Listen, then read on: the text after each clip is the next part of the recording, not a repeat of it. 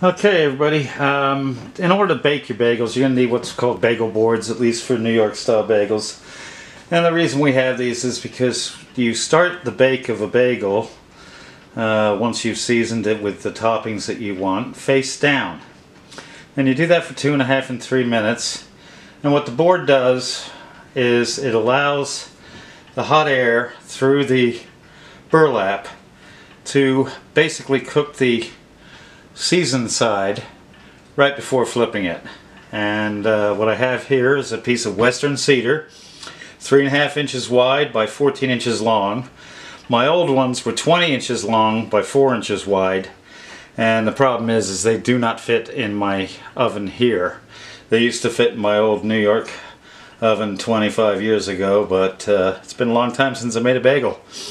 Anyway, so got my uh, western cedar here. We've got these upholstery tacks, piece of burlap which I've folded under about an inch.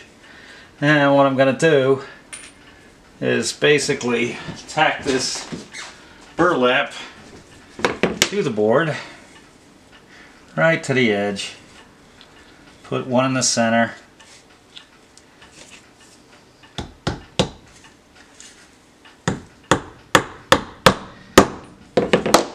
Okay, then we put one at the end. And we're stretching out our burlap. And you'll have to excuse me, but my fingers are still so shot from the chemo and I really can't hold anything too well. So I try to get them in there. And they don't have to be perfect. Just as long as you can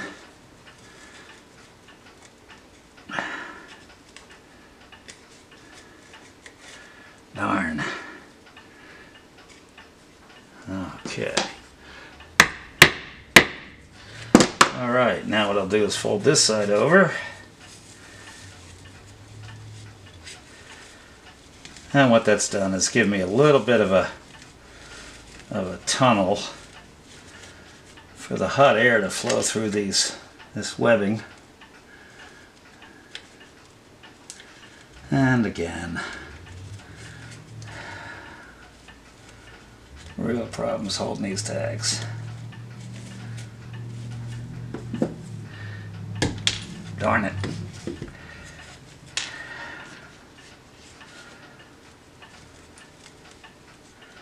I'm going to put a requisition in for a new set of hands here. See if I can get them on Amazon. There we go. Okay. I'll do the next one.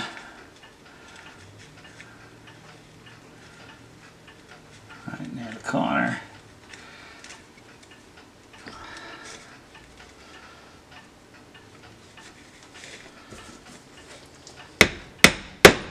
Okay. And we'll do the last top one.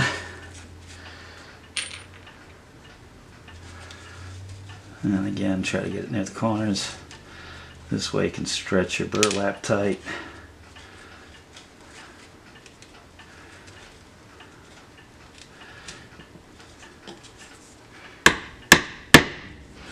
Okay, once you have your top done, we, I'll refocus the camera here. Okay. So now what we're going to do is we're going to seal the edges here. So I folded it under my excess. And I don't want it sticking past the board.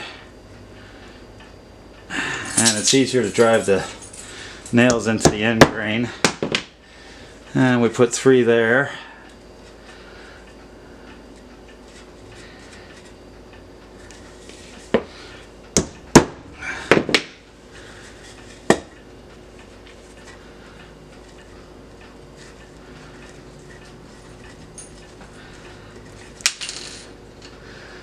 There go the hands again.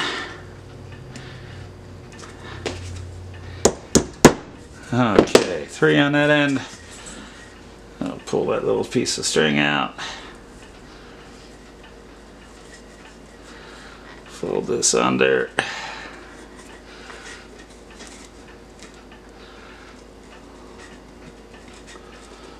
And the last three. It takes 12 of these uh, furniture nails or tacks. That one's on the floor. I'll find that in a minute.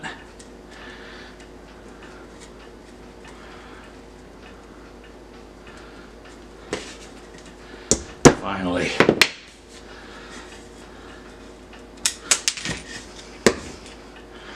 Like I said, the hands really aren't working well.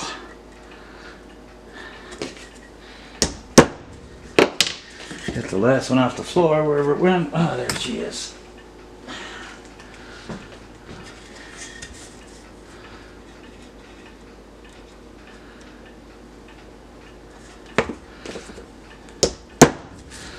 Okay, then what you'll do is you'll soak this in water. Basically just run some hot water over it until it's nice and wet and then let it stand partially dry.